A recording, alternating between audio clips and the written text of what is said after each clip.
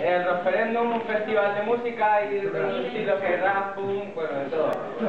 Y, Rap, punk, un poco de rap, un poco de punk. eh, y el caso es que los beneficios de ese festival, la entrada son 8 euros, pero va entero para pagar los gastos que haya costado y el resto para el Sáhara. Ah, bueno. Bueno,